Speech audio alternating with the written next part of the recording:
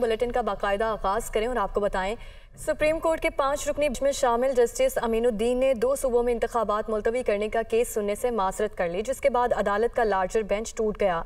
Justice Aminuddin ने गुजशत रोज justice काजी फाइजीसा की जानब से सुनाए गए फैसले के तनासर में केस सुनने से मासरत की है। आज नया बेंच केस की समात करेगा। तफसीत के लिए देखिए ये रिपोर्ट। पंजाब और केपी में इंतबात मुलतवी किए जाने का केस, पाँच रुकनी बेंच के रुकन, जस्टिस अमीनुद्दीन की केस सुनने से मासरत। सुप्रीम कोर्ट का लार्जर बेंच टूट गया। जस्टिस काजी फाइज ईसा के फैसले के तनाजुर में केस सुनने से मासरत करता हूँ। जस्टिस अमीनुद्दीन, केस आज साढ़े ग्यारह बजे समात के लिए मुकर बेंच में कौन कौन होगा शामिल? ये फैसला भी होगा आज। सुप्रीम कोर्ट का पाँच रुकनी लार्जर बेंच समात के लिए आया तो चीफ जस्टिस उमर अता बंदयाल ने कहा की जस्टिस अमीनुद्दीन कुछ कहना चाहते हैं। इस मौके आरोप जस्टिस अमीनुद्दीन अमीनुद्दीन ने केस सुनने से माजरत कर ली, जिसके बाद बेंच कोर्ट रूम से चला गया। जस्टिस अमीन के बेंच का हिस्सा न रहने के बाद अदालत का लार्जर बेंच तहलील हो गया है। आज नया बेंच केस की समात करेगा। गुजश्ता रोज हाफिज कुरान को 20 इजाफी नंबर देने के अजखुद नोटिस में जस्टिस काजी फाइजीसा की सरबराही में तीन रुकनी खसूसी बेंच ने फैसला जारी किया था। सुप्रीम कोर्ट ने रूल्स बनाए जाने तक आर्टिकल एक सौ चौरासी थ्री के तहत अजखुद नोटिस के तमाम केसेस मुलतवी करने का हुक्म दे दिया। सुप्रीम कोर्ट में आज खुद नोटिस के हवाले से तीन रुकनी बेंच के फैसले में जस्टिस शाहिद वहीद ने इख्तलाफी नोट तहरीर किया, जिसमें कहा गया कि आज खुद नोटिस में वो बातें जेर बहस लाई गईं जो केस का हिस्सा ही नहीं थी। बेंचिस की तश्कील, चीफ जस्टिस का इख्तियार है।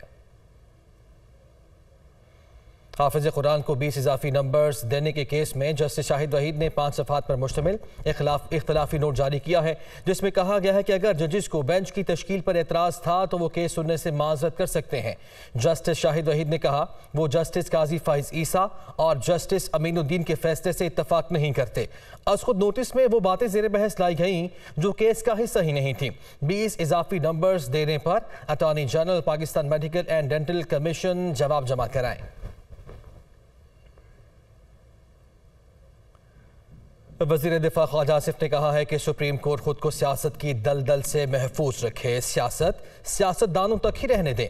अदालत उजमा को आइन की हिफाजत करते हुए मुतहद नज़र आना चाहिए। इमरान न्याजी, डेप्यूटी स्पीकर और सदर ममलिकत पर आइन तोड़ने का मुकदमा होना चाहिए। वो सुप्रीम कोर्ट के बाहर मीडिया से मुखातिब थे। सियासत इस वक्त जो जिन हालात पे, जिस नैज पे पहुँच चुकी है मेरा ख्याल है कि सुप्रीम कोर्ट को अपने आप को उससे महफूज रखना चाहिए। सियासत जो है, सियासतदानों के तक रहने दें। सुप्रीम कोर्ट जो है, वो मुतहद नज़र आए, आइन की हिफाजत करते हुए। पलड़े बराबर करने की डिमांड जो है, वो कहाँ से सियासी है? मेरा ख्याल है कि ये तो एक फ़र्ज़ की अदायगी की याद दहानी है। डेप्टी स्पीकर साहब ने जो कुछ किया जो सदर मुमलकत ने जो कुछ किया वो आइन तोड़ने के मुताबिक मुतरदफ था जो इसकी पुष्ट बनाई कर रहा था इमरान खान वो उसने भी आइन तोड़ा। अब भी वक्त है आइन तोड़ने का मुकदमा इन, इन लोगों में होना चाहिए। विफाकी वज़ीर दाखिला राना सनाउल्ला ने कहा है कि सियासी दर्जा हरारत कम करने के अदालती रिमार्क्स का खैर मकदम करते हैं। मुल्क का सियासी टेम्परेचर ज़्यादा करने में इमरान खान का हाथ है। इन मामला के लिए एक ग्रेटर डायलॉग की ज़रूरत है। तमाम फरीकैन को बैठ कर एक एजेंडे पर बात करनी होगी। वो सुप्रीम कोर्ट के बाहर गुफ्तु कर रहे थे। जो चीफ जस्टिस ऑफ़ पाकिस्तान ने जो बात की है कि सियासी टेम्परेचर जो है उसे आ, कम किया जाना चाहिए। हम चीफ जस्टिस के इस जज्बे की कदर करते हैं। सियासी टेम्परेचर जहाँ पे पहुँचा हुआ है, जहाँ पे मुल्क जो है वो इस वक्त अफरा तफरी और अनारकी के दहाने पे खड़ा है। इसके लिए इमरान खान साहब ने 10 साल बड़ी मेहनत की है। एक ग्रेटर डायलॉग की ज़रूरत है, जिसमें अपोजिशन की तमाम जमातें भी हों जिसमें हुकूमती कोलिशन की तमाम जमातें हों, जिसमें इस्टेबलिशमेंट भी हो और जिसमें मैं समझता हूँ कि जुडिशरी भी हो। तमाम फ्री कैन बैठ के बात करें और बात करने के बाद एक कंसेंसस एजेंडे के ऊपर पहुँचें तो फिर जाके जो है, ये मुल्क जो है, ये वापस तरक्की के रास्ते पे जा सकता है। तहरीक इंसाफ के रहनुमा शाह महमूद कुरैशी ने कहा है कि सारी कौम की नज़रें सुप्रीम कोर्ट की तरफ़ लगी हुई हैं हम उम्मीद लगाए बैठे हैं कि आइन की फतह होगी फवाद चौधरी का कहना था कि आइन को एक चैलेंज दरपेश है सुप्रीम कोर्ट को शिकस्त देने की कोशिश हो रही है मुल्क को इस वक्त जुल्म और जबर के साथ चलाया जा रहा है वो सुप्रीम कोर्ट के बाहर मीडिया से गुफ्तु कर रहे थे सारी कौम की नज़रें इस वक्त सुप्रीम कोर्ट की तरफ़ लगी हैं और मुंतजर हैं देख रहे हैं कि फैसला क्या आता है। इसमें कोई शक नहीं कि ये एक डिफाइनिंग मोमेंट है और आज का दिन पाकिस्तान की जुडिशल और पॉलिटिकल हिस्ट्री के लिए एक अहम दिन साबित हो सकता है। हम उम्मीद लगाए बैठे हैं कि इन आइन की फतह होगी। अच्छा जी, पहली बात तो ये है कि आज सुबह ये जो बेंच तहलील हुआ है, इससे पाकिस्तान के आइन को एक यकीनी तौर के ऊपर एक चैलेंज दरपेश हो गया है। उसकी वजह यह है कि पाकिस्तान का आइन तो कहता है कि नबे दिनों के अंदर इलेक्शन होने हैं और सुप्रीम कोर्ट ने फैसला दिया था कि मैक्सिमम 30 अप्रैल को इलेक्शन जो है पंजाब में और केपी में होने हैं। अब ये जो बात है कि 8 अक्टूबर को होना है तो मुझे आप बताइए कि तीन, इस 8 अक्टूबर का मतलब ये है कि 11 अगस्त को ये हुकूमत तहलील हो जाती है और इसका मतलब है तीन महीनों में नई हुकूमत आ जाएगी। और जिस तरीके से पाकिस्तान को इस वक्त चलाया जा रहा है, जबर के साथ और जुल्म के साथ, तीसरा तो कोई रास्ता नहीं है। सबक वज़ीर ख़जाना मफ्ता इसमाइल ने कहा है कि पाकिस्तान मुश्किल में है। कोई प्लान भी नहीं। आई एम एफ़ के अलावा कोई और ऑप्शन नहीं है। आलमी इदारे से माहिदों को तोड़ने की वजह से अहतमाद का फुकदान है। उन्होंने कहा कि अमरीका और मगरबी ममालिक ये समझते हैं कि पाकिस्तान मिलने वाली रकम से चीन का कर्जा दे देगा। वो प्रोग्राम दुनिया का इमरान खान के साथ में गुफ्तु कर रहे थे।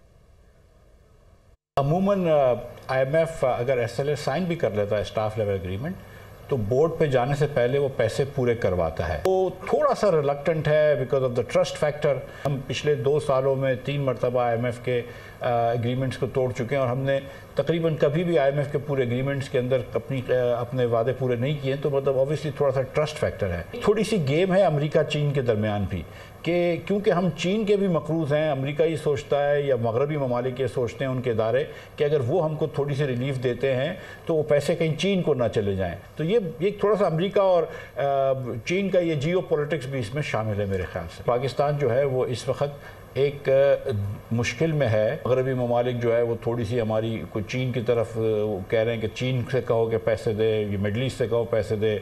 चीन कह रहा है कि हम आपको पुराने पैसे तो री रोल कर रहे हैं, उनको भी बोलो ट्रांस दे। तो थोड़ी सी वो आपस की एक वो खिंचाव भी है, तनाव भी है, जिसमें हम फंसे हुए हैं। It is no plan B मैं आपको सच बताऊँ कि I M F is the lender of last resort I M F के अलावा कोई और कोई और सूरत हाल नहीं है। बात हमको एक दूसरा आईएमएफ प्रोग्राम में भी जाना है। फिर आपके यहाँ इलेक्शन भी आ रहे हैं। आईएमएफ ये चाहता है कि उनको कम अज़ कम पाकिस्तान के बजट, जो अगला बजट आएगा, अगला माली साल का, उसका स्ट्रक्चर या उसकी कम अज़ कम मेजर डिटेल्स पता हों। कि दीगर ममालिक को भी, हमारे जो फ्रेंडली ममालिक हैं, इनको भी ये लग रहा है कि शायद ये बजट पता नहीं कितना रिस्पॉन्सिबल होगा कि नहीं। तहरीक इंसाफ के रहनुमाओं के खिलाफ दर्ज मुकदमा की तफ्तीश करने वाली जे आई टी के सरबरा ने फवाद चौधरी, हमाद अजहर फारूक हबीब और एजाज चौधरी समेत मुतद रहनुमाओं को आज दिन ग्यारह बजे तलब कर लिया है। लाहौर के थाना रेस कोर्स, शादमान और सिविल लाइन्स में दर्ज मुकदमा की तफ्तीश का दायरा मजीद वसी कर दिया गया है। तहकीकत करने वाली ज्वाइंट इन्वेस्टिगेशन टीम ने तहरीक इंसाफ के रहनुमाओं को आज तलब कर लिया है। जे आई टी सरबरा ने फवाद चौधरी, हमाद अजहर फ़ारूक हबीब, एजाज चौधरी, मियाँ महमूद रशीद और मुसरत जमशेद इकबाल चीमा को दिन ग्यारह बजे सी सी पी ऑफ़िस पहुँचने की हिदायत की है। तमाम रहनुमाओं के बयान रिकॉर्ड किए जाएँगे। जे आई टी मुकदमात की तफ्तीश मुकम्मल करने के बाद चालान अदालत में जमा कराएगी। उधर लाहौर हाईकोर्ट ने बगावत के कानून की दफ़ा एक सौ चौबीस ए को आइन से मुतसादम करार दे दिया है। जस्टिस शाहिद करीम ने सेक्शन एक सौ चौबीस ए के खिलाफ दरखास्तों पर महफूज किया गया फैसला सुना दिया। इसी बारे में रिपोर्ट कर रहे हैं मोहम्मद अशफाक।